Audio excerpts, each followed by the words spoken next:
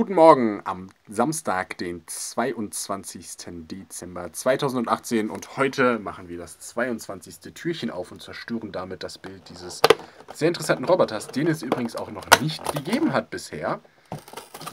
Bis heute. Hier ist er. Halb zerrissenes Türchen, aber das macht ja nichts, wenn wir jetzt die Teile da rausholen.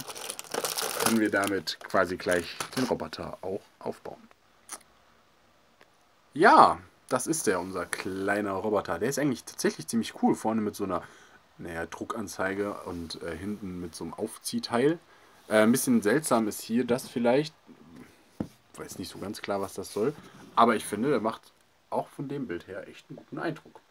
Wir wünschen euch auf jeden Fall einen schönen Tag und sehen uns dann morgen zum vorletzten Türchen wieder.